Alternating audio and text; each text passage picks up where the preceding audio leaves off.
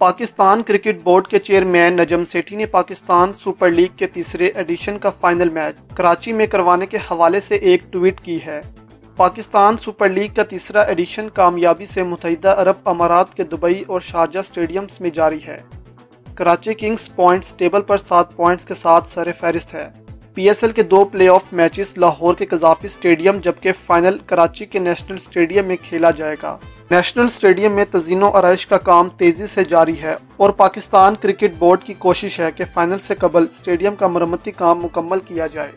Pakistan cricket board के chairman Najam Sethi ने समाजी रबते की वेबसाइट ट्विटर पर स्टेडियम की मरम्मत के हवाले से आगाह किया। अपनी ट्वीट में नजम सेठी ने कहा कि नेशनल स्टेडियम की मरम्मत के लिए पीसीबी दिन रात काम कर रहा है और तामीराती काम का जायजा लेने खुद कराची जा रहा हूँ। उन्होंने कराची के शहरियों को खुशखबरी देते हुए मजीद कहा कि पी एस एल थ्री के फाइनल के लिए कराची वाले तैयार हो जाएँ।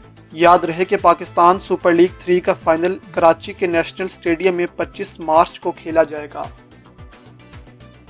Subscribe to our channel Parky Links News. Also share and like the video.